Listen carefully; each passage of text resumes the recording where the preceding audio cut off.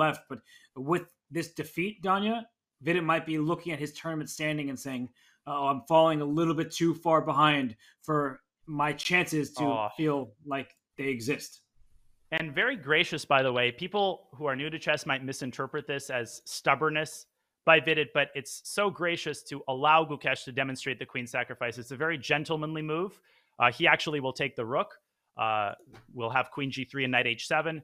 Uh, this is not, you know, blind stubbornness, unwillingness to accept the result. Uh, it's a classy move, just letting Gukesh demonstrate it for the fans. Knight h7 on the board. And, but Danya, uh, look, there, shakes hands. Yeah, handshake in this one. We expected that oh, from Gukesh. Let's go to the other but game.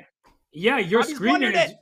Yes, he has. There's a He's resignation resigned. here too. So Hikaru Nakamura joins Gukesh in the winner circle for this round. Fabiano, he just let his clock tick too low. But credit to Hikaru